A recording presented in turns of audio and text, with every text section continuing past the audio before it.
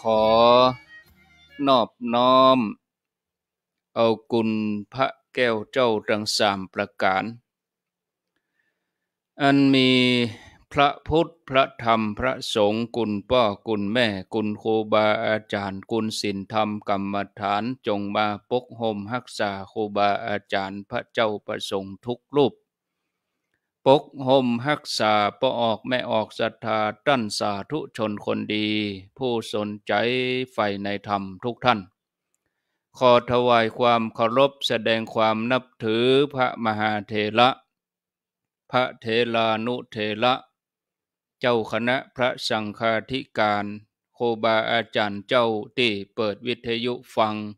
อยู่ที่วัดที่วาเวลานี้จุตนจุองค์ ขอถวายความเคารพแสดงความนับถือท่านพระครูสุเมธธรรมเสวี เจ้าอาวาสวัดม่อนฤาษีผู้ร่วมสนทนาธรรมประจำวันนี้ด้วยความเคารพอย่างสูงครับ เจริญพรญาติโยมท่านสาธุชนทุกคนทุกท่าน มาปะกันแล้วเนอมาปะกันแล้ว มาแล้วมาแล้ว มาปะกันในรายการสารธรรมยำแรง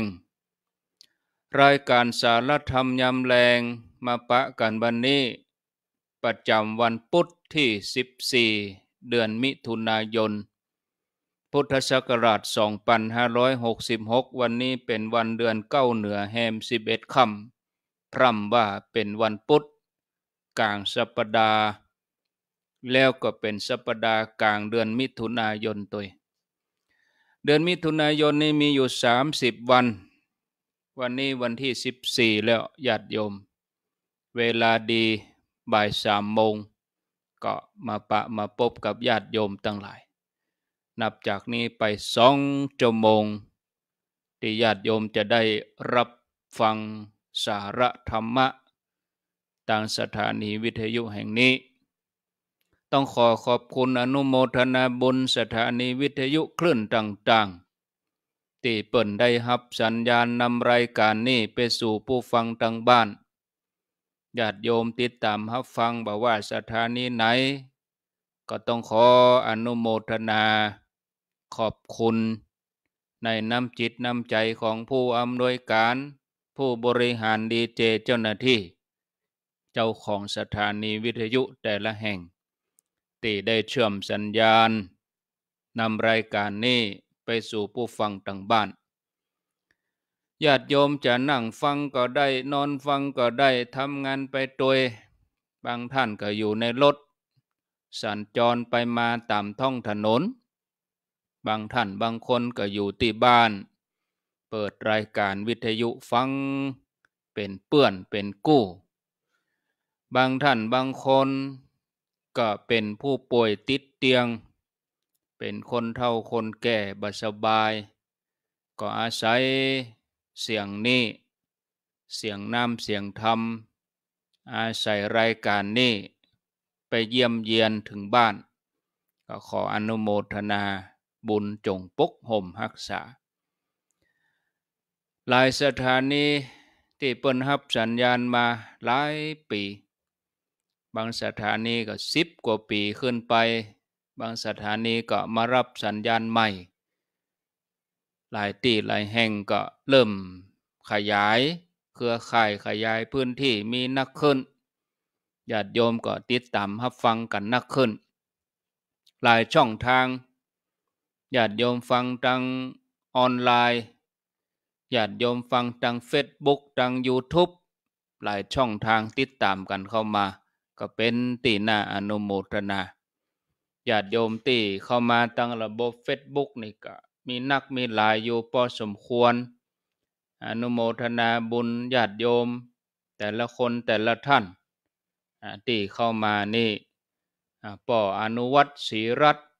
อยู่หนองจอม สันทราย แล้วก็โยมพิสมัย เขื่อนคำแสนอยู่ปงยังคก ปงยางโคกนี่ปุ่นลำปาง อันนี้อยู่สระบุรีโยมเปียกอยู่สระบุรี สุพินจันทวงวิไลพรมณีวัน แม่น้องกองคำแล้วก็อันนี้อยู่แม่แจ่ม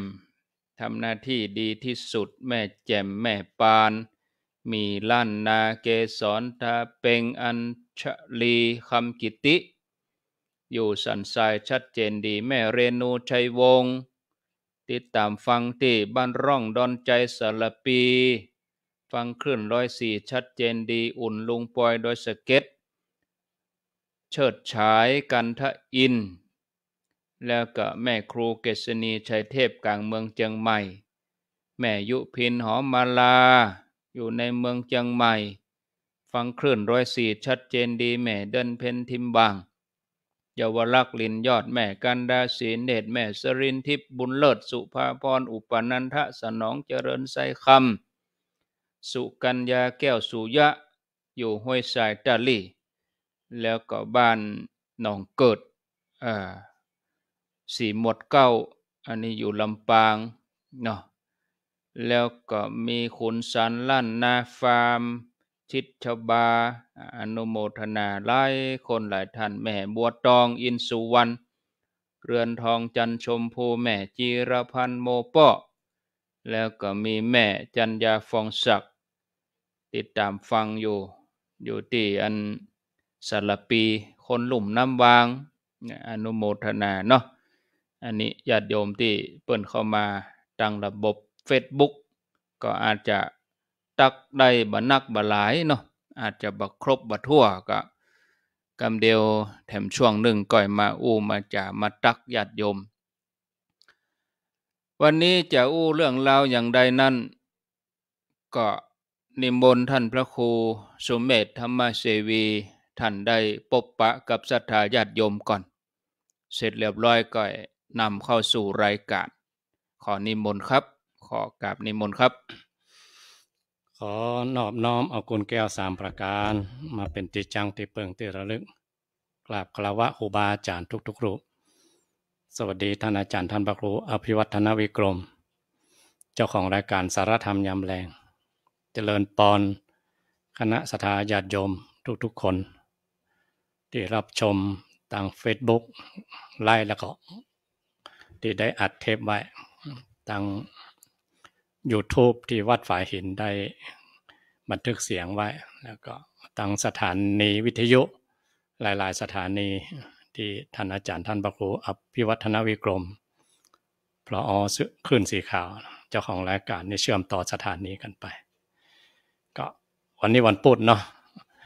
บ่ายบ่ายสามโมงกว่าก็ได้มาปากัน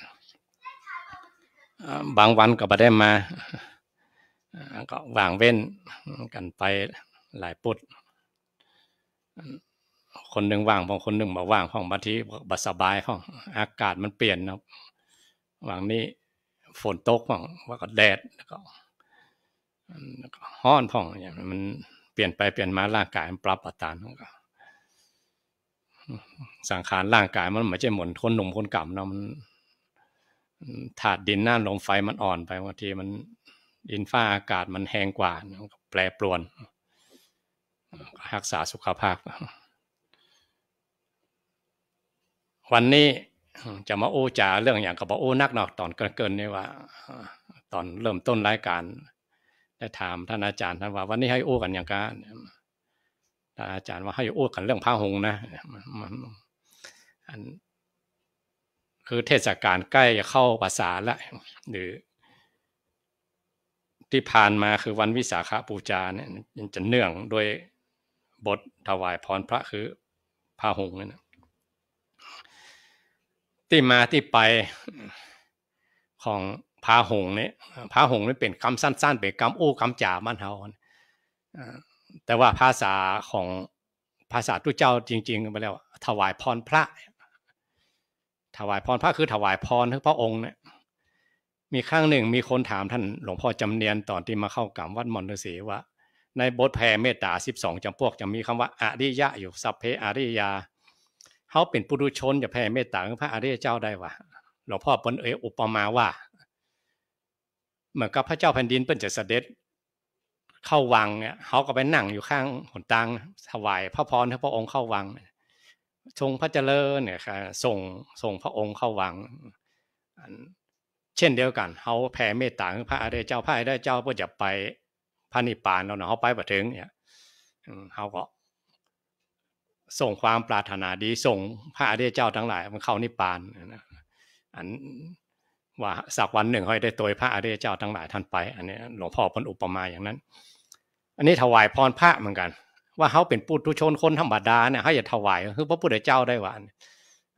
พระพุทธเจ้าเป็นเป็นองค์สมเด็จพระสัมมาสัมพุทธเจ้าก็เทียบอุปมาเหมือนแผ่เมตตาอย่างนั้นเหมือน เขาส่งพระพุทธองค์สรรเสริญคุณพระพุทธองค์เนี่ยเป็นพุทธานุสติอันเดียวกันนะยังใครจะเข้างานท่านนี่นี่หรือจะสอบไปถามคุณสมบัติผ่านอย่างมาพ่องเฮียนจบอย่างมา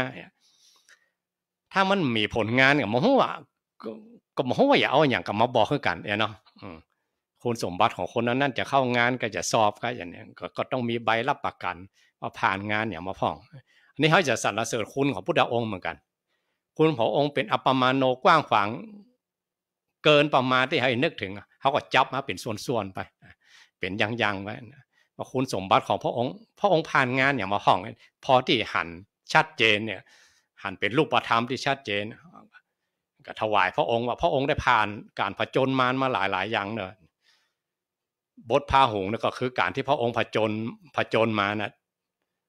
มีแปดมีเก้าบท บทเอตานิโอบทที่เก้าเนี่ยเป็นบทสรุปเองแต่ว่าคนต่างหลายไปว่าพระหงแปดพระหงแปดบทว่าพระองค์พระชนะมารมาแปดบท ชนะบางอย่างรับใจเป็นโพธิสัตว์เป็นผู้เจ้าก็มี ชนะบางบางตนบางองค์ หรือบางสัตว์ก็มีเนาะเป็นโพธิสัตว์มาแต่ว่ามหันพิษมาโดนเพื่อน หลอกมาแล้วก็ที่จริงก็ปรารถนาเป็นโพธิสัตว์พระองค์อย่างช่างนาราคิลิงพังปาลายกะเนี่ยอันนี้ก็โดนเทวตัดหลอกตอนหลังพระองค์ก็เป็นพุทธวงศ์เหมือนกันจะทำไล่กันอย่างกับฮู้คิงมานี่ก็พอที่เป็นมิจฉาทิฏฐิกลับมาเป็นสัมมาทิฏฐิก็มีอย่างพระกาพรมเนี่ยเป็นมิจฉาทิฏฐิพรมกลับมาเป็นสัมมาทิฏฐิ ทั้งหมดทั้งมวลนี่ที่โพดมาได้มีคนเดียวนะคือนางจินตมาวิกาว่าองค์ว่าเป็นนิยตะมิจฉาทิฏฐิโพดมาได้มันอันนี้อยู่ในมอมอนหกโพดมาได้ นอกนั้นพระองค์โพดได้หมดอะเป็นจ้างกะเป็นแม้แต่องคุริมานจนห้าร้อยคน เออมันจะฆ่าฆ่าคนมาฮะเก้าร้อยเก้าสิบเก้าคนพระองค์ก็โพดเป็นตัวละหันตาได้ก็มีหลายหลายหลายข้อในแจกแจงรายละเอียดไปเนาะว่า ได้ได้โอสนทนากับท่านอาจารย์ว่า แต่ละข้อมีที่มาที่ไปอย่างไรคำว่าพระคาถาพระพาหงเนี่ยบทที่ครูบาอาจารย์เป็นสวดตอนที่คณะสัตยาตั้งหลายใส่บาตรเนี่ยไปกูบ้านกูเมืองทั้งอีสานทั้งภาคกลางภาคใต้บางที่ก็สวดจบแล้วสถาถึงไปใส่บาตรบางที่ก็ขึ้นอิติปิโสเพราะพาหงแล้วสถาอย่ลุกขึ้นใส่บาตร เป็นการระลึกถึงว่าพระองค์ชนะมารโดยการเขาโดยอุปมาว่ามาเขาฮือตาลเนี่ยแล้วก็มันกับพระองค์ชนะมารมา เทียบอย่างนั้นพาหงนี่เคยถามท่านอาจารย์มหา มาโนดอาจารย์ว่าเป็นคาถาคาถาวสันตดิโลกคำฉันคำว่าวสันตดิโลกนี่หมายความว่า เป็นสระอะสระอาที่ เป็นคำฉันที่ยากที่สุดในบรรดาคำฉันทั้งหลาย ต้องอาหะต้องอาจารย์มหาที่ปรริญญาสูงๆอาจารย์มหามาโนราปรริญญาเจ็ดปรริญญาแปดปรริญญาเก้าอันนั้นที่จะแต่งฉันว่าสันตริโลกคำฉันชนิดนี้ได้ที่มีกำสั้นกำยาวบังคับระหว่างวักเว้นช่วงวักช่วงอย่างมีตัวบังคับตัวสระอาสระอาเสียงสั้นเสียงยาว เป็นคำฉันที่ยากมากๆ แต่งแล้วคือไพเราะเพราะพิ้งลงมาเหมือนแฮฝนอาจารย์มหามาโนดวานนะตามประวัติบอกว่าคาถาพระหงเนี่ยตุเจ้ามหาเถระอยู่เมืองเชียงใหม่เนี่ยเป็นผู้รจนาวันแล้วขยายไปทั่วโลกมันละหลายร้อยปีมาละจนมาปรากฏที่ตีคนหู้จักกันถึงบ้านถึงเมืองตอนตีหลวงพ่อจรันวัด อัมพวันอันสุมาจะออกจื่อชื่อจื่อมันชื่อจื่อจื่อหลวงพ่อจื่อย่างนั้นนะมันเป็นเจ้าคุณนะแล้วก็มรณภาพไปแล้วพระธรรมสีหบุราจารย์นี่เนาะแล้วก็ มีครั้งหนึ่งเปิ้นฝันเอวะนะจะจะจริงอะเทศมามีในหนังสือนะเล่มน้อยๆสถาแล้วพอนะคาถาพระหงหลวงพ่อบอกพ่อจรันวัดป่าอัมพวันหลวงพ่อบอกว่าฝันว่ามีตู้เจ้าตนหนึ่งใส่จีวรกลักดำๆหน่อย มาเข้าฝันว่า เดี๋ยวนี้วัดชัยมงคลที่พระนเรศวรสร้างถวายเป็นพุทธปูจาเปิ้นจะปิดแล้วเนอะให้หลวงพ่อไปพ่อยกรรมเองเพราะว่าอันครูบาเจ้าเป็นพายหลวงพ่อท่านเขาบอกว่า หลวงพ่อชื่อพระพันรัตวัดปากแก้วคือหลวงเสด็จสมเด็จพระวรรณรัตน์อาจารย์ของพระนเรศวรนั่นแล้วก็หลวงพ่อก็สะดุ้งตื่นขึ้นมา แล้วหลวงพ่อเปิดก็คำหนึ่งในใจว่า อันนี้ในหนังสือว่านะว่าเอาก็ทำกรรมฐานมาตลอด จะฝันร้อยๆ หรือจะฝันไปเลยนิ่มหมีกระถากระถาเออกรรมฐานนี่กำกำจิตกำกับจิตตลอด อันนี้ให้ปัจจัยร้อยๆนะหลวงพ่อนะจะไปพอกันมั้งหลวงพ่อไปกำลังเพื่อนกำลังบูรณะเจดี วัดชัยมงคล ถ้าคณะสัทธาเขาอยู่ถนนสายเอเชียเขาพอไปทางอยุธยาเลี้ยวขวาไปพอนะจะมีเจดีย์ใหญ่ๆเสื่งๆหน่อยนะฮะเขาเข้าไปอยู่ซ้ายมือเลี้ยวไปซ้ายมือ ไปที่วงเวียนนะก่อนจะเข้าเมืองอยุธยามีจะมีวงเวียนพอถึงวงเวียนเขาก็เลี้ยวซ้ายไปเลย จะไปวัดซัมปอกงหรือหลวงพ่อใหญ่ แต่ต้องผ่านวัดชัยมงคลนั้นก่อนแล้วก็จะมีเจดีย์เซิงๆเอียงๆหน่อยคือ ดินสมัยก่อนมันจะอ่อนก็ไม่ได้อ่อนแต่ว่า แต่มั่นคงนะหลวงพ่อไปก็ตอนนั้นก็ก็กำลังบูรณะไปจะปิดอะไรจะปิดเจดีย์ที่หลวงพ่อก็อนุญาตเข้าไปขออนุญาตเข้าไป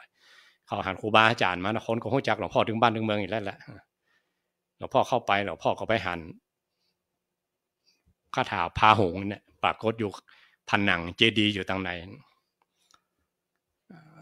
หลวงพ่อเปิ้นว่านะอันนี้นะว่าหลวงพ่อก็โอ้อันนี้มันคาถาพระหงเนี่ยคอขึ้นมาหลวงพ่อว่าเข้าไปถึงสามชั่วโมง หลังจากนั้นหลวงพ่อประกอบว่าเล่าเนาะพ่นไปจะไปประจนอย่างว่าหลวงพ่อไปพอว่าเข้าไปสามชั่วโมงออกมาก็เลยมาเล่าลูกลูกหลานฟังว่านี่เป็นคาถาของคนโบราณโบราณมาแล้วก็สมเด็จพระวรรณรัตน์วัดป่าแก้วบันไดรถจันนาไว้เขียนไว้ในตีข้างพระธาตุเจดีย์วัดชัยมงคลไว้ตรงไหน มอบพระคาถานี่คือสมเด็จพระนเรศวรไปหบศึก ชนะศึกกรุงหงสาวดีมาเลยสร้างเจดีย์ชัยมงคล อันตีกรุงศรีอยุธยา อันนี้อันนี้อันนี้ประวัติโดยโดยไกลๆนี่เนาะแต่ดั้งเดิมมาจะขยายความไปได้แต่ละข้อแต่ละข้อก็นิมนต์ท่านอาจารย์ท่านพระครูอภิวัฒนวิกรมเจ้าของรายการเขา โอกันแบบสนทนาเนาะส่วนกันไปส่วนกันมาถือว่าประเสียมารยาทนะอันนี้หมดครับ ข้อไว้สาครับท่านอาจารย์ ท่านพระครูสมเด็จธรรมเสวี ก่อนที่จะมาสนทนากันในเรื่องของบทสวดมนต์พาหง หรือว่าพาหงมหากาก็เฮือสถาเขาสวดด้วยกันเนาะสักสามนาที เป็นการจั่วหัวเนี่ย ไปสวดได้ก็สวดตัวประมาณสามนาที แล้วกำเดียวเขาก็มาขยายความ ในบทสวดที่ว่านี้พาหูมหากาก็เวลาพระเน้นเปิ้นบวชใหม่ๆ มาเป็นพระนวกะกะ เป็นเน้นเป็นตุหนุ่ม ก็จะต้องได้ปอน ปอนเสร็จแล้วเพื่อก็ขยับพาหุง ถ้าไผสวดบ่ได้ก็การเข้า ครูบาอาจารย์รุ่นเก่าเบิดอีละเออเราเออหุงข้าวมสุกอะเราต้องสวดได้บทพาหงนี่เดี๋ยวเรามาสวดด้วยกันเนาะญาติโยมก็ขอเจริญพรได้สวดพาหงก่อน ประมาณสักสามนาทีเนาะ ขอเจริญปอนพาหุงสหัสสมาปิเนมิตาสาวุทานตังครีเมกรังกุติตะโครัสเสนมารังทานาทิธรรมวิตินาชิตวามุนินตัวตันเตจะสาภวตุเตชยมังคลานิมาราติเรกมปิโยชิตสาภลาติงโกรัมปนาลวะกมากมตาทยาคังคันเตสุทันตวิทินาชิตวามุนินตัวตันเตชะสาภวตุเตชยมังคลานินาลาจิริงคชวรังอติมาตพัวตังทาวาจิจากกรรมสนีวสุธารุนันตังเวตัมปุเสกวิทินาจิตวามุนินตัวตันเตชะสาภวตุเตชยมังพลานิอุคิตคาคมติหาทสุธารุนันตังทาวันติโยชนะปทังกุลิมาลวันตังอิเดียพิสังกตมโนชิตวามุนินตัวตันเตชะสาภวตุเตชยมังคลานิกาตวานากาตมุตรังวิวะคาพินิยาจินจายตัวตวัจนังชนะกายมาเจสันเตนะโสมวิทินาชิตวามุนินตัวตันเตชะสาภวตุเตชยมังคลานิสัจจังวิหายมติสัจกวาทะเกตุงวาทาพิโรปิตมนังอธิอันทปัวตังปัญญาปฏิปัจริโตชิตวามุนินตัวตันเตสสาภวตุเตชยมังคลานินันตัวปนันทปุจกังวิพุทังมหิติมปุเตนะเทระปุจเกนะธรรมาปยันตัวอิตัวปเทสวิทินาชิตวามุนินตัวตันเตจะสาภวตุเตชยมังคลานิทุกาอธิติปุชเกนะสุตาทหาคังพระมังวิสุทธิชุติเมติภกาพิธานังญาณาคเทนวิทินาชิตวามุนินตัวตันเตชะสาภวตุเตชยมังคลานิเอตาปิพุทธชยมังคลาอัตคาทายโยวาจโนทินาทิเนสารเตมตันติหิตวานเนกวิวิธานิจุปัตวานิโมขังสุขังอธิคมายนโรสปัญโยถ้าคุณจะฟังเพลงทั้งที แล้วต้องลำบากขนาดศรัทธาญาติโยมท่านสาธุชนท่านผู้ฟังทั้งหลาย ทุกท่าน ก็ได้สวดบท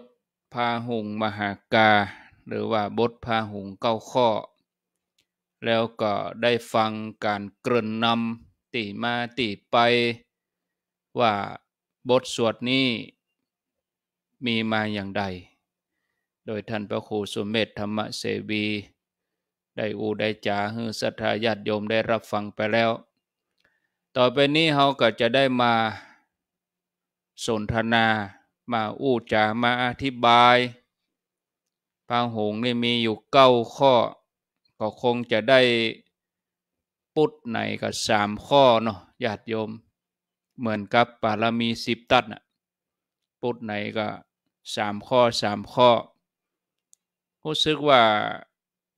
ช่วงก่อนนั่นนี่หายไปเมินเหมือนกันนะเกือบสามปุดเนาะญาติโยมภารกิจบึดกับติดนั่นติดนี่อย่างท่านพระครูว่านะภารกิจมีนักมากมาย แต่ก็บละรายการเออตนนั่นตนนี้แตนไปประคับประคองเวลาไป เพื่อเป็นการบรรเทาเสียเวลา พาหงสามข้อแรก ขึ้นต้นว่า พาหงสหัสสมะพินิมิตะสาวุทันตัง คีเมฆลัง อุทิตโครัสเสนะมลังทานาทิธรรมวิธินาชิตวามุนินโทตันเตชะสาภวะตุเตชะยะมังคลานิ บทที่สองนี่ชื่อมาลาติเลกมะพิยุชิตะสัพพลติง ลัมปนาละวะกัมมะทัตทยขังขันติสุทันตะวิธินาชิตวามุนินโทตันเตชะสาภวะตุเตชยมังคลานิ บทที่สามนาลาคิลี หรือว่านาลาคิลิงคัชวลัง อติมตตะภูตัง ทาวขิจักกมะสนิวะ สุทารุนันตัง เมตตัมพุเสกะวิธินาชิตวามุนินโท ตันเตชะสาภวะตุเต ชยมังคลานิเอาบทที่หนึ่งนี่หรออ่าบทที่หนึ่งนี่พาหุงสหัสมะพินิมิตะสาวุทันตังคีเมฆลัง บทที่หนึ่งนี่แปลว่า พระพุทธเจ้าพระองค์สามารถเอาชนะศัตรูมูมาก ในการสู้รบนะผจญมารน่ะนะ เรื่องก็มีว่าตอนที่พระองค์ตรัสรู้ พญามารยกมาเลยยกพลมา แล้วก็มีอาวุธครบมือ ขี่จ้างตัวหนึ่งชื่อว่าจ้างคีรีเมฆะจ้างขีเมฆะคีรี แล้วก็เสนามารตั้งหลายก็โหห้องเนี่ยเดี๋ยวเฮท่านพระครูสมเด็จธรรมเสวีเปิ่นอธิบายขยายความเพิ่มเติมครับ ในบทที่หนึ่งนี่ครับ ขอนิมนต์ครับ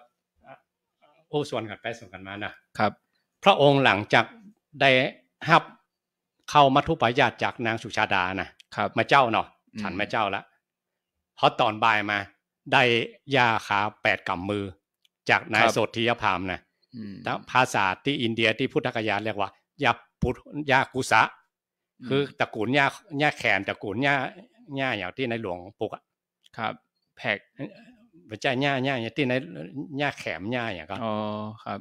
ตระกูลหญ้าคาตระกูลอย่างเนี้ยอืมแต่ปัจจัยหญ้าคานะเพิ่นเรียกว่าหญ้าอืมกุสะหลังจากนั้นพระองค์ก็ข้ามจากแม่น้ำเนรัญชลามามานั่งอืมใต้ต้นโพครับเวลาตะวันบ่ายนะพระองค์หันหน้าไปหลายทิศนะอืมแต่ว่าอันท่าอูตามภาษาเนี่ยบอกว่าหันหน้ามาตะวันออกมาตั้งแม่น้ำครับในในรัญชลาได้ตีพอดีอืม ตอนที่ปู่ย่าค้าหนังนะพระองค์ก็ตั้งอธิษฐานว่าเนี่ยแม้แต่เลือดเนื้อเราจะเหือดแห้งหายไป เราจะบรรลุจากที่หนังที่นี่มันน่ะอืมด้วยสัจจะด้วยนี่สัจจะพอสัจจะตัวนี้ตั้งขึ้นมาแล้วฟ้าดินกระเทือนแหละอืมพญามารอยู่จันทร์สวรรค์จันทร์ที่หกครับที่เขาสวดพระธรรมจักรนั่นนะอืมฟ้าดินกระเทือนอย่างเนี้ยเอ้ามีมหาบุรุษคนหนึ่งมาตั้งสัจจะอธิษฐานว่าจะตัดสรู้ใต้ต้นโพ ครับยกกองทัพมารมาละขี่จ้างมาละ มาเพื่ออย่างมาเพื่อจะมาแย่งว่า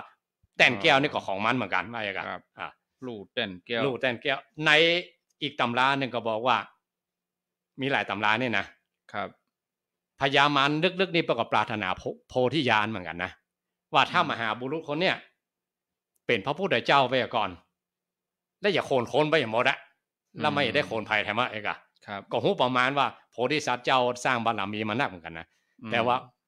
ตัวเก้าก็อยากจะเป็นพระพุทธเจ้าเหมือนกันเองอะจะโคนโคนเหมือนกัน อันนี้อีกตำราหนึ่งนะครับอีกตำราหนึ่งก็ขอย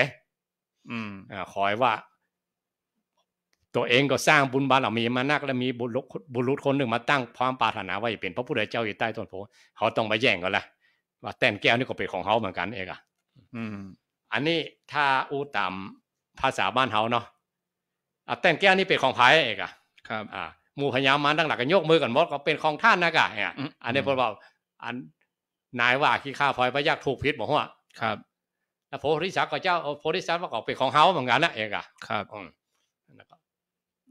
แล้วภัยเป็นภัยเป็นพี่ญาณเนี่ยนะอืมอ่าภัยเป็นพี่ญาณหมู่มารทั้งหลายก็ลูกน้องเป็นพญานกันหมดโพธิสัตว์มีตนเดียวครับ ตอนพญามารยกมาตอนแรกเทวดาห้อมล้อมกับทุกท่านนะอืมาเชียร์มากองเชียร์พระองค์เนี่ยกะครับ พอพญามารยกมาลิทธีนักแต่กันนะอืมอูเทวดาทั้งหลายโลนกันหมดเทาะหนีกันหมดเหลือพระองค์สู้ตนเดียวนั่นน่ะเออยังเป็นละอย่างนั้นเนาะกลิลัทวธีมันก็กลัวกกลัลัววลิทมันธีกันเนี่ยอ๋อกลัวลิทธีกันเนาะมันครับลิทธีพญามันนักกว่าไอ้อืนะมอันนี้อันตามปฐมสมโพธิเป็นว่าอันนะครับ ตอนที่ลูกกันน่ะมันจะจู่ๆอย่าลูกมาลองลิทธีกันกันเหรอครับ อ่าพญามาก็ยิงธนูไฟมาใส่เลยอืมอ่า พระองค์พอมาถึงใกล้พระองค์ธนูไฟกลายเป็นเป็นทูปเป็นเทียนบูชาพระองค์อย่างเงี้ยครับเอาฝนห้าไฟลงมาเต็มจักรวาลเนี่ยนะมันก็อุกกาบาตลงมาอีกอะอืมปุ้งกันมาเป็นโมอะฝนห้าไฟกลายเป็นดอกไม้บูชาพระองค์เนี่ยเออ เอาบะหินเต้าดอยอะนะครับเอ่อทุ่มลงมาอีกอะใส่พระองค์ขึ้นแล้วคำตี้อะอืมกลายเป็นเต้นแก้วเนี่ยเนี่ยเนี่ยมันลูกเต้นแก้วเนี่ยพญามารอืมมันเอาหินมาทุ่มหรอกครับ มันก็ว่าไปนของมันอะอืม พระองค์เปลี่ยนมาเปลี่ยนเต้นแก้วนั่งอย่างเงี้ยอืมครับ สู้อย่างไรสู้เบาไหวก็ เลยก้านเลยหนีไปอืมเลยมาหาพระองค์ปุ๊บไปลูกสาวหันเลยเนาะครับในสัปดาห์ที่หนึ่งแต่ตัสลูเนาะสัปดาห์ที่หนึ่งสัปดาห์ที่สองอันอมิสเจดีย์เพ่งต้นโพสัปดาห์ที่สามเดินจงกรมสัปดาห์ที่สี่พิจารณาปฏิจจสมุปบาทสัปดาห์สัปดาห์ที่ห้าวะครับ ที่อันลูกสาวพยามารมาว่าป่อให้อย่างยังไงกะอืมมาพบก้านมหาสัตว์เจ้ามาไงกะอืมครับ อันนั้น อันนั้นตอนสัปดาห์ที่ห้าละสามสิบห้าวันละลูกสาวถึงจะมามาผจญนะที่ลูกสาวพยามารมาฟ้อนเหมือนกันนะครับสัปดาห์ที่ห้าละอืมนะตอนที่สู้กันสัปดาห์ที่หนึ่งเนี่ยตอนตอนที่ใต้ต้นโพธิ์ตอนที่ก่อนที่พระองค์จะตรัสรู้น่ะอืมพระองค์ชนะด้วยอย่างโดยฐานะบารมีเนอะ จะครับบิจะอยู่ในในในบทของของพาหงส์บทที่หนึ่งนะอืมทานด้วยอย่างพระองค์ บอกว่าใครเป็นพี่ญาณนะกะที่นั่งครับแก้วใครเป็นญาณแล้วก็ว่าเราเป็นพี่ญาณเองดันพญามารเออนางแม่ธรณีนางแม่ธรณีก็ขึ้นมาครับแหละอืมพุทธมาพูดขึ้นมาว่าลีดเมื่อมามีวยใครผมเป็นพิญญาณข้าเจ้านี่แหละเห็นเนาะอืมนะครับเป็นภาษาเมืองนี่นะอืมพระองค์ได้ฮื้อตานมาเนี่ยพระหงส์บทที่หนึ่งจัดตานะนั่นนะครับ พระองค์หลั่งน้ำลงในแผ่นดินน่ะอืมอ่าน้ำมันนักหมอกใดเนาะบีบมวยผมมามาแหละ ครับ อ่าน้อยผมมวยผมของนางแม่ธรณีเหมือนซึนามิลงมาเลยเองอะอืมท่วมพญามานั่นก็นั่นนี่กันวุ่นวายวุ่นวายแหละนั่นก็ครับ อันนี้อยู่ในระดับเปว่าถ้าอู้ตำตามตำราถ้าสมสมัยไม่ดูในระดับนิมิตอยู่ในมิติหนึ่งเองอะอืมถ้าน้ำท่วมขนาดนั้นคนเมืองขยะก็ตายหมดอะกะครับไม่หรอ ถ้าเป็นคนนะอืมอันนี้อยู่ในระดับจิตของพระองค์หมดครับในระดับนิมิตอยู่ในระดับที่พระองค์สู้ในระดับมิติอีกมิติหนึ่งอีกอะอืมมิมิติในกายทิพย์ของพระองค์ครับอ่าท่วมพญามารทั้งหลายหนีกันตลอดเปิดเปิงหมดเลยอืมหลังจากนั้นพระองค์ก็มาตรัดสรู้โดยยานสามครับยานสามคืออย่างระลึกชาติตัวเก่าระลึกชาติคนอื่น แล้วก็อาสาวัคยายานมาเกิดขึ้นในในปัจฉิมยามยามสุดท้ายครับ นะตอนที่สู้อันเนี้ยบทพาหงส์บทที่หนึ่งเนี่ยพระองค์ชนะโดยตอนที่แม่ธรณีบีบมวยผม แม่บีแม่ธรณีบีบมวยผมเพราะอย่าง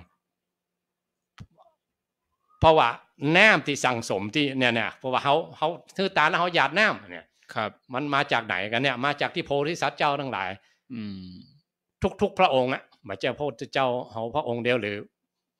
พระปัจเจกพุทธเจ้าก็ดีอาสีติมหาสาวกเจ้าทั้งหลายก็ดีกำลังปั้มเป่งบารมีครับ หยาดหน้าใหม่ตาลเนี่ยรวมกันกลายเป็นน้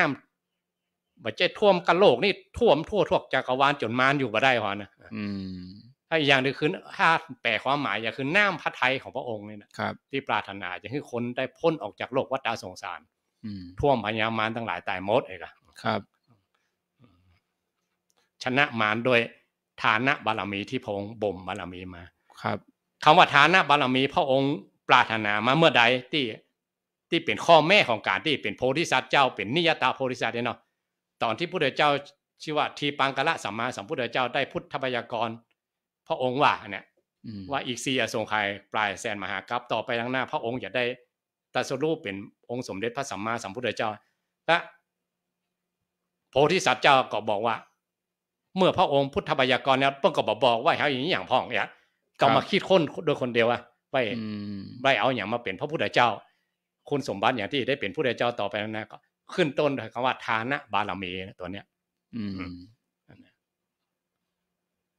บทที่หนึ่งบทที่หนึ่งทานะบารมีที่เขาอุบารมีสิบอะครับอ่าตัวที่หนึ่งตัวนี้แหละตานปารมีตานบารมีจะได้เปลี่ยนพุทธเจ้าเริ่มต้นจากตานบารมีก่อนครับพอจบบารมีสิบที่แผ่นดินสะเทือนเวันเวันไหวหมดนั่นน่ะอืมที่มหาโพธิสัตว์เจ้าได้คิดค้นว่าตัวเองจะต้องทำอย่างพ่องเนี่ย ครับอย่างสมัยนี้เหมือนกันนะไม่ได้ไปสมัครงานท่านนั้นนี่อืมมีคนเปียดเนี่ยการนั้นไปถามคุณสมบัติก่อนหรอครับอ่าว่าจบอย่างมาเฮียนอย่างมาครับ มีอ่าประสบการณ์ต่อใดเก่งด้านไหนชำนาญการด้านไหนอ่าเอออันนี้อันนี้คุณสมบัติพระองค์ก็คิดค้นขึ้นมาว่าครับ จะเป็นผู้เดชเจ้าต้องต้องเฮียนอย่างพ่อง ต้องทำอย่างพ่องครับ ตัวแรกเนี่ยพาหูตัวแรกคือ ชนะมารทั้งหลายหมู่มารทั้งหลายด้วยทานะบารมีที่พระองค์เป็นอืมเป็นตัวกำกับเลยนะ ครับทานาวิธีทาอืมอาทาจารย์นาบอกว่าที่ธรรมวิธีนาอ่าเนี่ยเนี่ยตัวเนี้ยทานาที่ธรรมวิธีนาคือตัวตานนี่นะอ่าตัวตาเนี่ยนะอ๋อครับไล่อันเริ่มต้นเลยอ่าตัวตาลอืมอันที่สองมาลาติเลกมะพิยุตชิตะสัพพรตติง โครัมปนาลวะกมะธรรมะทัตยขัง ขันติสุทันตะวิธีนาชิตวามุนินโท ตันเตจะสาภวะตุเตชยมังคลานิ อันนี้อู้ถึงประวัติวัดของอาราวักกยักษ์อาราวักกยักษ์นี่เป็นลูกน้องของท้าวเวสสุวรรณนะอืมท้าวเวสสุวรรณนี่เปิ้นเป็นท้าวจตุมหาราชิกาหรอครับปกครองยักษ์อยู่ด้านทิศเหนือของจักรวาลเป็เนี่นยเป็นยักษ์ตนหนึ่งเออชื่อว่าอารวกยักษ์อ่าอ่าแล้วก็เป็นยักษ์ที่ห้าที่สวกเนี่ยครับแล้วก็เกเรมิจฉาทิฏฐิอ่า แล้วก็อื มบัจ้างอย่างไหนพระเวสสุวรรณมาเกเรสอนอย่างไรก็บอกครับฟังเนาะเฮ้ยอืมไปอยู่ปุ๊บกำจัดเขตอะลึงเนาะมันลึงเหรอเออคือไปอยู่ปื้นก็ไม่ฮะเนอะครับอ่าถ้าอยากกินเนี่ยอยากกินแต่ว่าอะอืมห้ามห้ามออกนอกเขตนะอ่าต้องอยู่ในให้เข้ามาในโฮมในเขตก็กินได้เออกินได้อ่าอืมเอาพอมาเกเรแล้วไปก่อนครับใส่คอกแหละาใส่คอกด้วยสัจจะของของมันครับท้าวเวสสุวรรณเบิ่นน่ะอืมเอาถ้าบ่ได้ก็โดนลงโทษแหละแล้วครัก็บถ้าคนไหนสันสัตว์ตัวใดมีกรรมมีเวรถ้ามาเข้าในเขตต้นลุไม้ดหลอดเข้าไปก็ เรียบร้อยเออถ้าออกนอกเขตมาได้เนอะอืมแล้วต้นไม้เนี่ยไปอยู่ในเขตเมืองอาราวีครับเออของพระเจ้าอาราวีที่เมือง เมืองอาราวีนี่สำคัญอย่างใดยันได้อืมถ้าในปรากฏในตำราเนาะครับตติยะปาราชิกก็มีหั่นนะอืมและที่ดาช่างทองหูก็อยู่หั่นนะเมืองอาราวีที่เมืองอาราวีน่ะอืมอ่าอันนั้นแล้วอันยักษ์นี่ก็อยู่อันต้นไม้นี่ก็อยู่เมืองในเมืองป่าในเมืองอาราวีอืมแต่ตอนนั้นพระเจ้าอยู่หัวง ชื่ออาราวกายะเอออาราวกากะเหมือนกัน ครับอาวะละอาราวกะอืมพระเจ้า พระเจ้าอาราวกะอาราวกะ ครับ เจ้าเมืองอาราวีนะอืมเพื่อชอบประพาสแอวป่าเสด็จประพาสป่าอ่าชอบล่าสัตว์เองอะอืมแล้วก็นักก็ต้าขุนพลทั้งหลายแหละครับ อ่าเขาจะยิงสัตว์เขาถ้าสัตว์ตัวใดอันรอดไปคนใดนะสดตัดไผ่โดนลงโทษเนอะสัตว์โป้นตัดไผ่อ่า โดน โดนโทษโดนโดนอืมอ่านยานะครับถ้าสัตว์ตัวนั้นมาเก่งมันไปรอดก็ต้องพระเจ้าอยู่หัวเพื่อโอ้เสียหน้าเลยกะเจ้าหมู่พระทเจ้าหารมันนั้นไข้หัวอย่าเออใกล้หัวใจเยาะเย้ยกับอืมกลัวเสียหน้าเนาะพระเจ้าครับอยู่หัวเป็นเก่งเหลือเพ่นอยู่หแล้วล่นเนี่ยด้วยแหละก็ขี่ม้าหล่นตัวคนะรับครับ เข้าไปในไปเขตต้นไม้ของอาราบกายักษ์เนี่ยกะอืมลูกน้องของงั้นท้าวเวสสุวรรณเนี่ยอาหารมาแล้ว อ่าอืม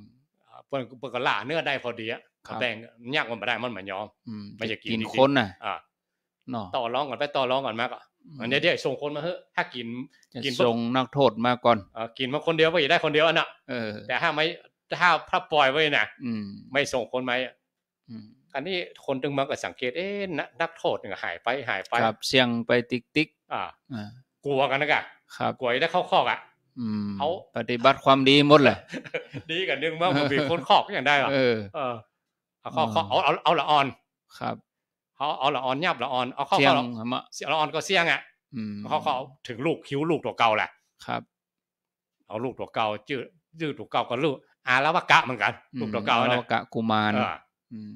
ส่งไปเลย ตัวเก่าก็ส่งส่งด้วยตัวเก่าเองเลยนะครับอ๋อเป็นน้ำให้น้ำห้องเหมือนกันแล้วก็อืมลูกตัวเก่ามันอย่างไรเนาะอืมก็ปนว่าฮักชีวิตอะอืมฮักชีวิตของตัวเก่าครับ ชาวตูนะผู้เดียวเจ้าแผ่ขายพยาน อืม จะได้โพดแล้วเนาะอ่าอาลาวกะยักษ์นี่เข้าไปว่าพระองค์พาไปโพดเนี่ยนะอืมอาลาวกะยักษ์นี่อย่าได้เป็นพระโสดาบันมันครับ คนให้ขนาดนั้นนะพอนะกะอืมฆ่าคนมาขนาดไหนอะกะครับยักษ์ให้ขนาดนั้น อืม อ่า พอพระพระองค์ก็ไปเลยครับ ไปกระท่ามไทยกันไปว่าอันนี้ปัญหานี้เป็นปัญหาเลิกเลิกปัญหาของของอืมอาลาวกะยักษ์นี่นะครับ เพราะว่าเปิ้นได้ฮับ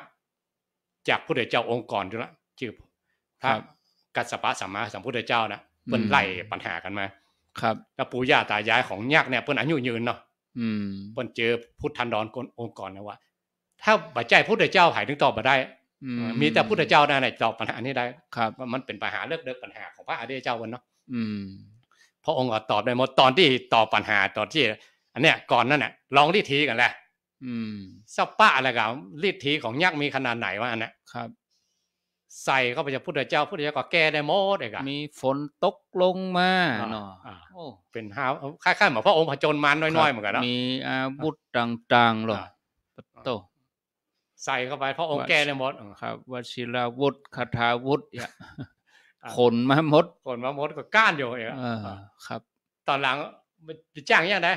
อืมบอกพระองค์พระองค์บอกให้อยู่นี่ไปไปพระองค์ก็ไปครับอะ อือะมอันพระองค์บอกต้องไปปิ๊กมา พระองค์ก็ปิ๊กมา อืมเอออันเนี้ยเรียกขันติเนี่ย พระองค์ครับ สู้ด้วยขันติได้ได้นะอืมอันบทบทบทเนี่ย ที่ครับบอกว่าขันติอะอืมที่ขันติเพราะอย่างพระองค์จะโพดนั่นแหละไม่ใช่ขันติอย่างอื่นนะจะโพดให้ได้บรรลุธรรมจะยอมนะอ่าคือว่าเปิ้นจะโพดป้นจะโพดป้นโอ๊ตพ่อจะโพดครับอ่ามันจะดื้อจะลึงอย่างไรก็โพดด้วยความเป็นครูของของผู้เดชเจ้านั่นแหละอืมขันโอ๊ติตเอาเออ ขันติสุทันตะวิธินาอ่าชิตวานี่อ่าครับชนะด้วยขันติคือชนะจะชนะจะเอามาเป็นสาวกนะก็คือจะได้อืมเปิ้นคือได้บรรลุธรรมนะกะครับโอ๊ตเอามันจะลึงอะไรก็ว่าให้มันว่าว่าไปก่อนมจนมันยอมอะเอาจนมันชอบครับเอาจนมันยมพอมันยมแล้วมันถามปัญหาเนี่ยกะอืมผ่านปัญหาหลายข้อเหมือนกันนะครับพอสุดท้ายมาได้บรรลุธรรมอืมพอบรรลุธรรมพระเจ้าอยู่หัวกับปลาละอ่อนนั้นมาพอดีครัคาบรวะกะกุมารนะอืมยากว่ามันมากินละ ครับ เพราะนั้นเขาจะหันตีอันข้างวิหารนะครับ ยักษ์นี่มาอย่าอันเข้า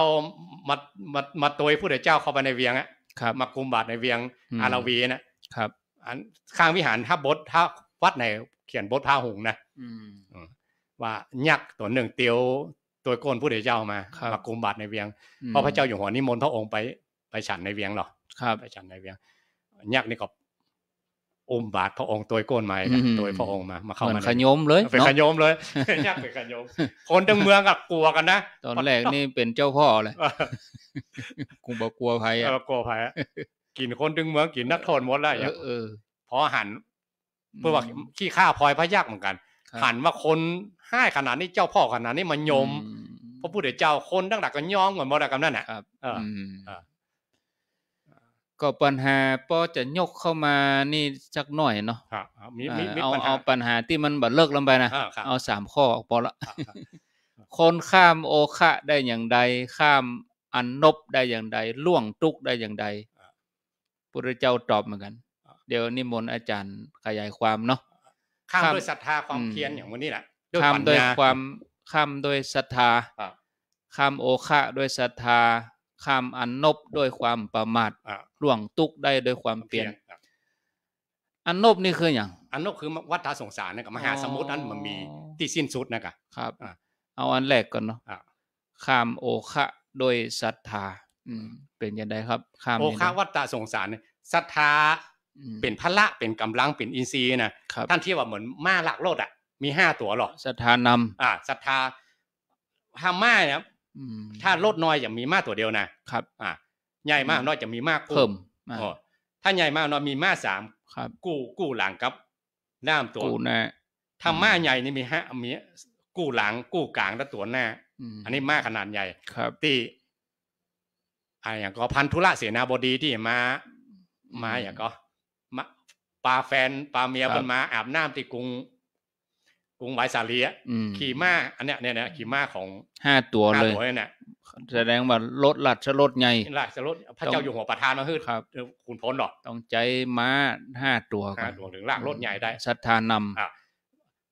ตัวศรัทธานี่สามารถจะปาคุณธรรมทุกอย่างได้ลากมาหมดคะแนนมีศรัทธาอ่ามีศรัทธาอ๋อครับศรัทธานี่ต้องประกอบด้วยปัญญานะ อืมอืมมันจะมี ตัวสุดท้ายตัวที่ห้าคือปัญญากำกับไว้หรอกอ่าถ้ามีปัญญากำกับคือศรัทธางมงายนะครับ อ่า อืมอะถ้าถ้าบ่มีศรัทธาตัวเดียวอะอืมถ้าบ้านเขาว่าอย่างอื่นถ้ามันไม่ก็มีมาใจอะย่างอะ มันก็อย่างมอื่ดนมดอะกะอืมเอออย่างอื่นก็มีอย่างอื่นก็บ่เกิดครับ คนจะข้ามวัฏฏะสงสารได้ข้างห่วงมหานพได้ ก็ต้องมีศรัทธาตัวแรกก็มีใจที่จะทำมีใจที่จะ อืม คือศรัทธาคือมีใจที่จะทำอะอ้าวครับถ้ามีใจตัวเดียวก็หมดกันนะถึงขั้นไหนอะอย่างคุณธรรมอย่างอื่นไม่อีกตัวมาครับเพราะว่าศรัทธามีตัวนำตัวหน้าไปคนจะข้ามโอคะวัฏฏะสงสารได้ก็ต้องมีใจก่อนนี่ก็ครับต้องมีใจนำก่อน แล้วก็จะข้ามอนนบวัฏฏะสงสารได้ด้วยความประมาทประมาทอย่างครับประมถ้าประมาณคัดถ้าโอ้ก็คือสติปัฏฐานนั่นแหละอืมรวมลงในที่พระองค์ บอกว่ารอยเท้าช่างอะ ครับ รวมลงถึงโมดอะหอยตีนจ้างนี่หอยใหตีญ่นเหลืจ้าองเปิ้นอ่า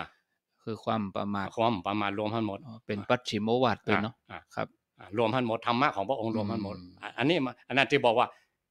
ปัญหาชั้นที่นี่เป็นปัญหาของของยากตั้งหลายที่เขาได้บอกกันมาเป็นทอดๆนะอืมบอกคนที่ตอบได้คือ พระพุทธเจ้าเท่านั้นเปิ้นฝากกันมาถามเหรอเพิ่นฝากกันมาอยาเป็กนรุ่นนี่ไปประชุมเดียวไปประชุมเหมือนกันนะอ่าเปิ้นมีไปประคนชุมเป็นรุ่นแล้วแล้วเขาได้เจอเพราะว่าผู้ใดเจ้าองค์กรเพิ่งจะนิพพานแม่นบัดได้เมินเนี่ยเขายังมาตายกันด้านนะเอ่อเพราะเขาอายุยืนหรอกครับอ่าแต่เจออืมผู้ใดเจ้าต่างองค์กรก็เจอมาละอืมเพราะในพัฒนาการมันมีตั้งห้าองค์มันก็ครับเทวดาอินพรหมเขายังมาตายได้เขาหันผู้ใดเจ้าองค์ก่อนๆมาละไปถามแฮมไว้ถามแฮมอืมเพราะ เพราะว่าคนที่ปล้นก็ปล้นไปครับในสมัยผู้ใดเจ้าชื่อกัสสปะสัมมาสัมพุทธเจ้าอืมคนที่ยังบารมีบ่เต็มเด้อรอผู้ใดเจ้าองค์หน้าไปถามแฮมครับอ่าล่วงตุกข์ได้ด้วยความเปลี่ยนอ่าอ่าอันนี้ผมผมเคยเวลาไปบรรยายผมจังยกเป็นคาถาอืมยกขึ้นมาว่ามันมีเก้ากรรมเนาะอืมวิริเยนะทุกขขะมาเจมะเจติติมีเก้าอืมแล้วเวลาเขาแปลก็มีเก้าอืม คนเฮาจะล่วงตุกข์ได้ด้วยความเปลี่ยนเนี่ยมันมันเก้าเหมือนกันอืมเออ แล้วล่วงตุกข์ได้ด้วยความเปลี่ยนนี่อย่างไรครับบ่มีเปลี่ยนลูอะกหยัฟุงกอ๋อมันเนี่ยเออบ่ใจอ๋อบ่มีลูกคือบ่ใจเกิดขึ้นลอยๆกะครับ ต้องเปลี่ยนเอา อืมอ่าแล้วมีอย่างบทภาษิตหนึ่งที่เขาโอ้กันประจำว่าครับ อันทันโตเศรษโถมนุษย์เสสุอะต้องฝึกตัวเก่า ต้องฝึกเอาอืมเออ มันไม่ใช่คือเกิดขึ้นมาลอยๆมงลงมงลง ทุกอย่างครับต้องฝึกเอา เปลี่ยนอืมเอา อือืมมมันมีที่แบบ อันคนนั่นประทานให้เป็นลูกฟุกเป็นอ่าร้อยๆโชควาสนานี่มีครับอันในในศาสนาในกาแล้วรแล้วแล้วเตียนเปิ่นได้โจกได้รางวัลนะนี่เนาะไม่ใช่ฟุกอะอันนี้ก็แม่เขานกันมันอาจจะสายปานที่มันยาวอะอ๋อเขาอาจจะมาหาเส้นทางเส้นทางมันยาก่วอนนะหน้านั้นอ่าเฮาบ่ฮู้อย่างเขาไปหันมะม่วงซุกอะอืมเอ้าเขาไปหันตอนมันสุกเรานะมาหันมะม่วงซุกมาอะหันตอนมันจ่อเออมาหันตอนมันจ่อมันดอกนี้เออหันตอนที่เปิ้นปลูกมันเนาะครับอ่ามัน ถ้ามะม่วงมันมาจากไหนลองสาวหาเหรออืม มันจะต้องมาเป็นต้นเป็นหน่วยมันแหมล้อเออเป็นหน่วยเป็นเม็ดมาเอาเพาะเอาไล่หน่อยเนาะอืมะม่วงที่อยู่ที่เขากินมาจากไหน เอามาจากครับที่มาอยู่ในจานนั่นเนาะอืมมะม่วงที่อยู่ในจานมาจากไหน มาจากแม่ครัวเพิ่นปรุงกันในครัวเพิ่นโยมเอามาตานก่อนอะค่ะเออเปิดจะพอแม่ครัวได้มาจากไหนอืมสถาเพิ่นมาตานครับ สถาเพิ่นมาตานเพิ่นได้มาจากสถาไปซื้อที่การอืมการการลูเพิ่นมาจากไหนเพิ่นไปเอาการหลวงเพิ่นหรือการกำลังใหญ่หรือการอืมการเนี่ย การเมืองใหม่ป่ะครับเออเพิ่นไปศูนย์รวมตลาดมาแล้วคนการเมืองนั้นหายไปหายไปปอกก้าส่งส่งอีกทีหนึงคนกลางนะอ่าครับปอกก้าส่งนั้นมามาจากไหน มาจากเจ้าสวนที่เขาส่งกันมา เจ้าสวนเอาลูกไหนมาอ่าก็มาจากสวนเขาอืสวนมันเป็นอย่างมันต้นเป็นต้นมะม่วง ต้นมะม่วงมาจากไหน มาเขาต้นกล้าพันธุ์ต้องต้องกล้าพันธุ์มาแล้วก็อืมหันเขาปลูกเสียบหลังยอดกะหยังกะหลังวัดแล้วเนาะครับสุดเจนหูเจนตาอืม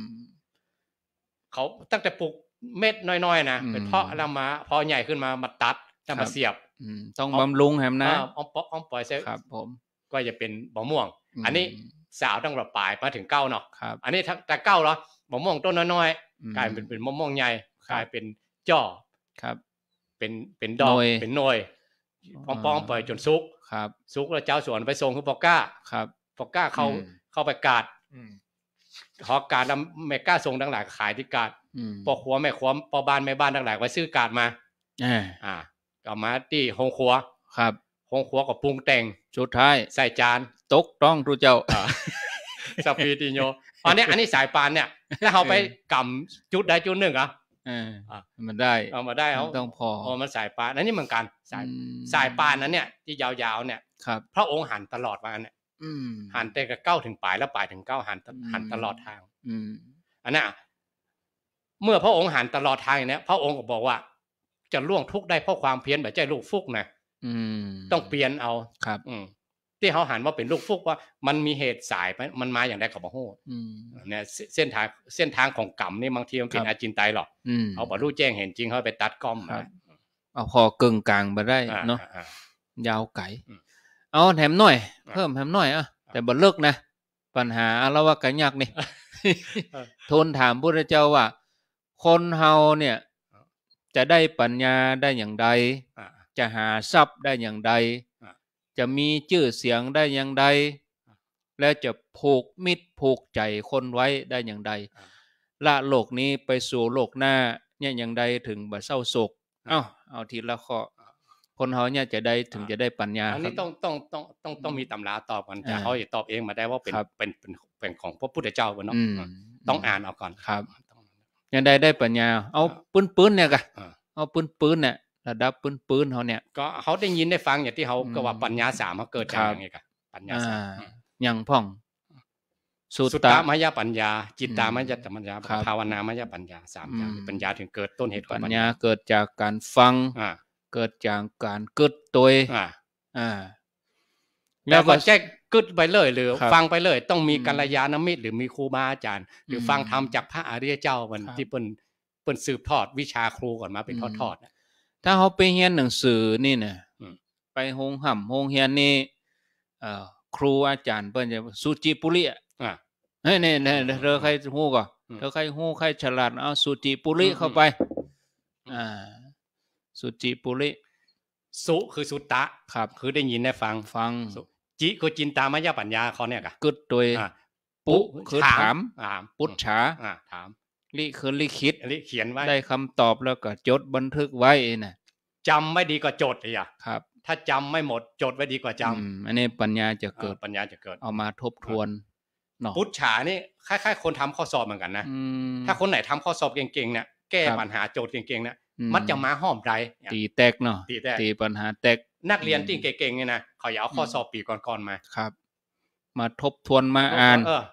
ถามปัญหาตอบอ่านมันจะปัญมาหาลายตอบใดเออมันจะมาอืมลายใดเพราะว่ามันถึงมาอยู่มันมัมันนเหมือนนี้ มันจะไม่หนีนั่นน่ะขอแนมจับหลักมันแนได้วฮะนะเออครับ ถ้าทำข้อสอบเก่าได้ข้อสอบใหม่ไม่ออกมาห้อมได้เลยอืมเพียงแต่เปลี่ยนตัวเลขมาได้ อ่านปุ๊บมาเลยเนี่ยอ่าผ่านหูผ่านตามาแล้วอ่านั่นๆอืมปัญญาเกิดเลยเนาะอ่ปัญญาเกิด ถ้าเป็น EQ สร้างกับ ปิ้งกันเลยเนาะเน้นอีกหน่อยครั้งนั้นภาษาญี่ปุ่นเรียกว่าซาโตริเนาะต้องสั่งสมมาก่อนนะถึงจะปิ้งคืขึ้นมาจะนี่ปิ้งนะถ้าไม่ได้สั่งสมมันมันมีเดี๋ยวว่ามันนั่งเคลียร์หัวแล้วปิ้งไม่ใช่ไม่ใช่ไม่ใช่ไม่ใช่ต้องสั่งได้สมเนอะหมูนี้ต้องสั่งสมโอ้ซูจิปุริหมูนี้เนี่ยใดก็เหี่ยวมาออกจักเดียวจำเป็นได้เอาปากกาเชียงท้ายกะอ่าเนาะอ่าเนี่ยมาข้อใดรับตาจิ้มมาเนาะจิ้มสุดท้ายนะอ่าจะหาทรัพย์ได้อย่างใด อุอากาศะเนาะอะอันนี้ เอาอุอาสะสะใส่ขยันหารักษาดีมีกัลยาณมิตรเรียงชีวิตให้เหมาะสมอ่าแล้วจะมีชื่อเสียงผูกมิตรไว้อย่างใดครับ อืมร้านไหนนี่เป็นว่าไงครับ อันนี้เปิ้นก็เรื่องว่า สัจจะอืมอ่า มีสัจจะขอใจคารวะธรรมครับสัจจะธรรมะขันติจาคะอันนี้เทียบไว้อัน อืมสิทธภาวลีเหมือนกันนะครับสิทธครัภาบวลีมีสิบหกคนหรอกอืมอาจารย์นี่เปิ้นได้สืบทอดตำรามาครับ แล้วมีปัญหาพวกนั้นอาจารย์บอกว่าอืมคนที่แก้ปัญหาได้นี่มีแต่พระพุทธเจ้าเท่านั้นอะอืมถ้าถ้าถ้าแก้คนธรรมดาแก้มาได้เอกอะครับอันนี้เหมือนกันอืมอ่าแล้วว่าก็ยากเหมือนกัน เวลาอืมอย่างอาจารย์ว่าเปิ้นประชุมกันนะครับถ้าเปิ้นบอก เหมือนกับบอกวิชาให้กันมาเนาะอืมครับบอกคำถามนี่สืบทอดกันมาเป็นรุ่นๆมาว่าอืมเออไปเสาะคนแก่เนอะเออถ้าคนไหนแก้ได้นั่นคือนับถือคนนั้นอะเเอเกิอดปัญญาเลยนั่นเอาน่ะเป็นตีเปิงได้เลยอืมอ่าครับถ้าคนธรรมดาแก้มาได้มีแต่องค์สมเด็จพระสัมมาสัมบางพุทธทีก็แล้วแต่บุญเนาะอ่าแล้วแต่บุญของยักษ์ตนนั่นอ่าว่าจะได้พระองค์จะได้โพดหรืก็อเขาลอกคอยกันมาทักกี่ปีอะแม่นนะหนึ่งพุทธันดรหมดแล้วอ่าหมู่นั่นหมดได้ปากันนะครับหมู่รุ่นปู่ย่าตายายเขาอะอืมอืม โอ้ถ้าหมื่นแตะหมื่นบาทอ่าโอ้เพราะนั้นบุญเปิ้นนักนะครับถึงน่ะเขาอู้ถึงสมัยนี้ว่าบางคนเกเรอืมเป็นคนให้เป็นคเมานลึกเมาให้เออเมาลึกว่าให้เขายังไม่ได้เจอกัลยาณมิตรหรือเขายังไม่ได้ครับเจอครูบาอาจารย์ อืมบุญของอาแล้วก็ยากเหมือนกันนะเพราะองค์แผ่ขายพระยานติดเลยเองอะครับอันนั้นมีผู้เดือเจ้าเนาะอืมอย่างสมัยเนี่ยบันเน่นะบางคนที่เกเรเกเรครับไปวันหนึ่งปะเขาไปปาครูบาอาจารย์เขาอืมตัวแป้เขาเองอะบุญต้องบุญต้องกัน อ่า จะได้โพดกัน อ่า อืมให้ขนาดไหนฆ่าคนหน้านักโทษเสี่ยงถึงขอบพอเนาะยังยอมฆ่าเนาะละอ่อนทำเยอะครับอืมบาปขนาดนั้นเลยเนาะอืมอยู่บนสวรรค์ยังต้องมามาได้นะบัดเกเรครับมันลูกหลานเปิ่นท้าวเวสสุวรรณอยู่ไปกักบริเวณน่ะเออออกก้านละเนาะออกก้านอะฆ่าได้ก็เพราะลึงอะเออครับ คนละโลกนี้ไปสู่โลกหน้าเนี่ยอย่างใดถึงบะโศกเศร้าเนี่ยคำถามนี้ในในนี่เพิ่นแก้ว่าไง ในนี่เปิ้นแก้ว่าเสาะหาตีเปิงเนี่ยมีตีเปิงว่ะอ่ามีตียึดมั่นมีตีเปิงๆแต่เฮาเฮาจะเฮาสวดอืมสวดเนี่ยก็สวดปอนครับกาเลกับบทเพศสัจชังนะอืมจะมีหันหรอครับปุญญานี่ปาราโลกัสสมิงปฏิทาหนติปานินันติอืมบุญจะเป็นที่เปิงในโลกอันเนี้ยอันเนี้ยเนาะอ่เนี่ยเอาบุญเนี่ยเอาเนาะบุญเป็นที่คือบ่โศกเศร้านะอะจิตใจบ่กระซับกระส่ายจะบ่บุมีญมันความสุขมีหลายระดับหรอกอืมบุญระดับ ในโลกนี้ก็มีนะครับ อัน เรียกว่าสัมปาราธิกับเอออันบุญที่ทำให้กับประโยชน์ประโยชน์ในโลกเนี่ยครับ คือบุญเกี่ยวส่งเสริมที่มากล้าขึ้นอืมปันหล่ำปันรวยเนี่ยครับคนคนมันมีโอกาส พอทำอย่างมันมันขึ้นนะครับ อ่า อืมยับอันใดก็อันนั้นก็ขึ้นหมดเนี่ยอันนี้อืมเพราะบุญเขาเหมือนกันนะครับ อันที่สองบุญไปโลกวัฏฏะสงสารไปไปหน้าเรียกว่าครับปาราโลกัสสมิงกับพ่อบุญส่งเสริมไปไปไปถึงครับด้านสุดท้ายคือปรมัตถประโยชน์กับบุญเหมือนกันอืมอืม สูงสุด สูงสุดถึงกับเป็นพุทธเจ้านะครับพุทธเจ้าพระเจ้าว่าเป็นพุทธเจ้ากันเป็นเจ้าเดียวไปใจหรอกอืมก็สร้างสมมานะสร้างสมอย่างก็สร้างสมบุญนั่นแหละครับ จนสร้างบุญคืออย่างคือบารมีนั่นน่ะอืมนั่นคือบุญนั่นน่ะสิบอย่างครับอืมโอ้กว่าที่พระเจ้าเฮาเปิ้นจะอบรมสั่งสอนภัยคนใดคนหนึ่งให้เริ่อมใสนี่อะใจกำลังนักเหมือนกันเนาะอ่าเนี่ยบทนี้เออถึงว่า ชนะอาครับรักวักกยักษ์ด้วยขันตีนะ ลงมือตัวกุศโลบายตัวเอออิทธิปฏิหารฤทธานุภาพเทศนาขนมาหมดผลมาหมดแล้วเพราะมันลืมเออดักคนใจให้มันก็ลืมดักใจก็ได้เอาอย่างไรก็ได้จนมันใจเอาเออมันก่ายแล้วเนาะพ่อคอรังบค์ไปอย่าไปอะทุกพ่อองค์วิธีอะพ่อองค์ก็ลูกไปนะอืมเอาไปใจพระองค์มาเอ้ยพระองค์เหมือนบันลึงเหมือนกันได้อะเออแต่ใจพระองค์ออกไปเหมือนกันพระองค์อะครับเอออย่างแจ้งกันไปอืมแจ้งกันมาอย่างเงี้ยเอ๊ะเธอมีสัจจะอะไรกันนะเออแล้วก็สะดุดเหมือนกัการหรอเลยกะก้านตอนเนี้ยกะครับครับมเธอบอกให้เขาไปแล้วไปใจกะอะครับเอาห้องเขามาแล้วบอกเขาไปเอ็นะถ้าตามภาษาบ้านเขานะครับเออย้อมกันตอนเนี้ยกะอืมคนมันมันจะย้อมกันนะาพอย้อมปุ๊บพอใจเปิดปุ๊บพระองค์แสดงธรรมให้ฟังครับอืมแสดงธรรมอย่างมันถามก่อนหรอกครับ มันมันปัญหามันมันมันตั้งกำแพงไว้แล้ว อืมอ่า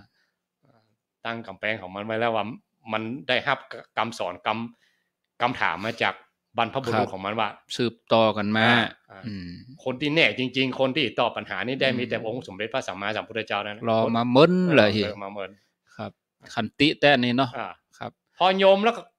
กำบาดเข้ามาในวังเพราะนะครับพอ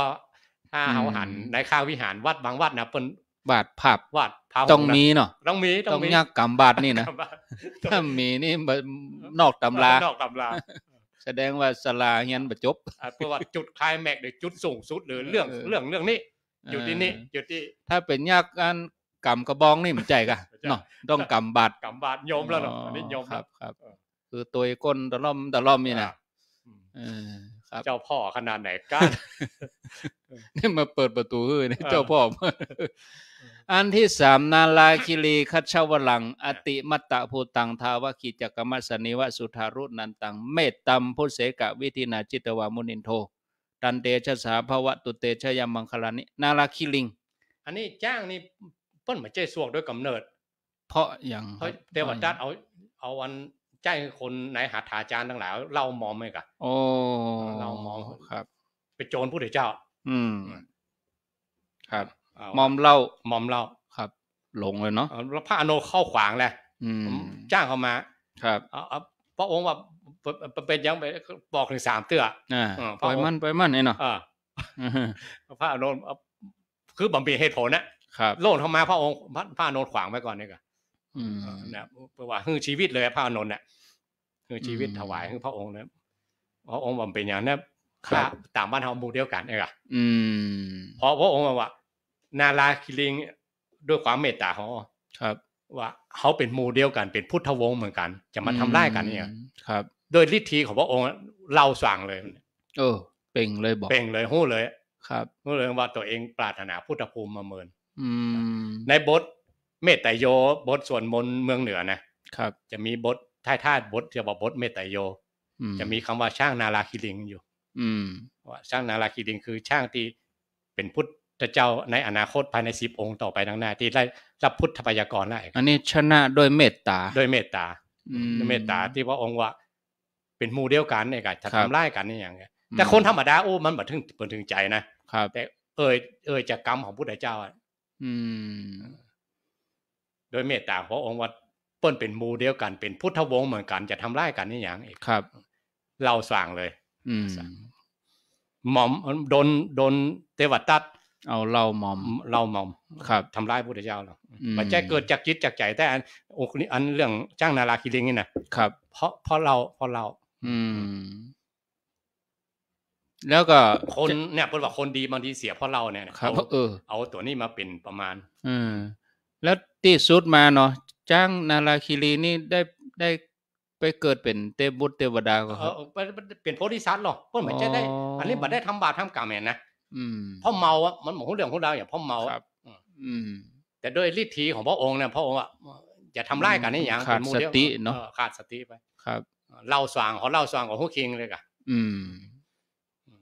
ตอนนั้นพระองค์บ่ได้เตศได้สอนอย่างมันได้นะสคอรับนได้ได้สอนอย่างเป็นเป็นสัตว์เดรัจฉานนี่เนาะครับสัตว์เดรัจฉาน แต่ว่าเปิ้นเป็น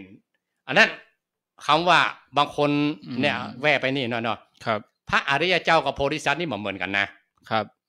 โพธิสัตว์จะเป็นพระอริยเจ้าบัดได้พระอริพระอริยเจ้าจะเป็นโพธิสัตว์บัดได้เองอะอืมเพราะพระโสดาบันอย่าเกิดบัดเจิดบ่เกินเจ็ดจ้านก็อย่าไปแล้วนี่อืมเพราะเปิ้นทลายโลกวัฏฏะสงสารได้แล้วเนาะบ่เกินเจ็ดจ้านก็อย่าไป โพธิสัตว์นี่ต้องเดินทางท่องเที่ยวในโลกวัฏฏะสงสารมากมายอืมเพราะนั้นช่างนาราคิริงทำไมเกิดเป็นสัตว์เดรัจฉานไปเกิดเป็นจ้างครับ พระโสดาบันเปิ้นไปอบายภูมิแล้วหรอสัตว์เดรัจฉานถือว่าเป็นอบายภูมินะอืมนั่นโพธิสัตว์เป็นได้สปะตกมอนหกก็มียกตัวอย่างไผ่ก่อนพระเตมียะเนี่ยนะอืมพระเตมียะไปเกิดเป็น เป็นเจ้าเป็นนาย เป็นเจ้าพญาเจ้าเมืองเลยเนาะครับ เข้าข้างคนพิษนะอ่าอืมลงมอนหกไปสองหมื่นปีสองหมื่นปีปีขึ้นมาบัญญัติเป็นเจ้าเป็นนายอะไรกันอืมอันนี้อันนี้อันนี้อันนี้เป็นตัวอย่างว่า โพธิสัตว์เจ้าลงมอนหกก็มีไปเป็นเสดาชะสัตว์เดรัจฉานก็มี แต่ในที่สุดจ้างนาราคิริงก็จะเป็นพระพุทธเจ้าภายในสิบองค์ต่อไปด้านหน้าอนาคตะอ๋อโพธิสัตว์เจ้าครับในบทเมตไตรโยจะมีอยู่เนาะอืม ก็เป็นบุญของเปิ้นเนาะอ่าบุญเออบุญหน้าบุญของเปิ้นไป ถ้าอู้ถึงบุญของสัตว์เดรัจฉานที่เป็นโพธิสัตว์เจอพระพุทธเจ้านะอืม ช่างปาลายกะนี่ได้บุญกว่า ได้ได้ได้ทำบุญหนักกว่า ครับช่างช่างนาราคีลิงนะอืมเพราะได้อุปถากพระองค์ถึงสุดภาษาสามเดือนกันนะครับอ่าอืมช่างนาราคีลิงจะมาทำลายพระพุทธเจ้าเพราะเพราะเราเมาเมานะขนาดครับโพธิสัตว์ยังอืมยังยังผิดยังพลาดได้กะอืมครับ จะขยับต่อก็ก็ว่าบอลแล้วเนาะสามข้อเนาะสามข้อเอาลองทวนหน่อยข้อที่หนึ่งหนึ่งพาหุงสหัสสมะพินิมิตะสาวุตันตัง คีเมฆลัง อุติตโครสะเสนะมาลังอ่าอันที่สองมาลาติเลกมะพิยุจิตะ อันนี้ อันที่หนึ่งนี่ด้วยตานปรมีเอ่อวัชระอาจมวัชระอาจคือ ครับ อาจแต่นนั่งแต่นครับแก้วที่พระองค์นั่งใต้ต้นโพธิ์ตรัสรู้อืมพญามันจะมาลู่เอาอืมอืมอันที่สองนี่ชนะด้วยขันโดยติโดยโดยทาน อันอันที่หนึ่สงองเนี่ยตานสองขันติ ขันติขันติด้วยความเป็นครูนะไม่ใช่ขันติครับอย่างอื่นนะขันติอืมว่าอย่าอันอดอดกับคนพาลนะ ครับอดกับคนพาลอันที่สามนี่โดยเมตตาอ่าเนาะครับครับเดี๋ยวขออนุญาตได้พักสักประมาณอ่าหนึ่งนาทีสองสามนาทีก็เนาะพักฉันน้ำพักอย่างสักกรรมญาติโยมฟังไรนี้ไปไหนเตื้อกำเดียวเฮาก็ก้อยมาปะกันแถมกรรมในช่วงที่สองก็จะมาสนทนากัน ในเรื่องกิจกรรมการงานสักเล็กน้อย แล้วญาติโยมมีคำถาม ก็ขอเจริญปอนได้เกี่ยมคำถาม ที่จะมาโทอูจาสนทนาถามปัญหาก็คือกำลังใจก็ก็เอาไว้ในช่วงที่สองเนาะช่วงนี้ขออนุญาตได้พักกำเดียวเจริญพร